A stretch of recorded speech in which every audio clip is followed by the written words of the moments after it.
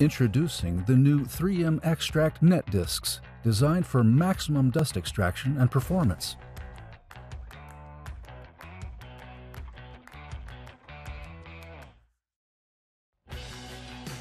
These discs feature a net backing, which combined with our powerful dust extraction tools and accessories can provide up to 97% dust capture in composite sanding applications. With 3M precision-shaped grain on the mesh discs, they provide an industry-leading cut rate and longer life. No need to compromise between effective sanding and dust removal.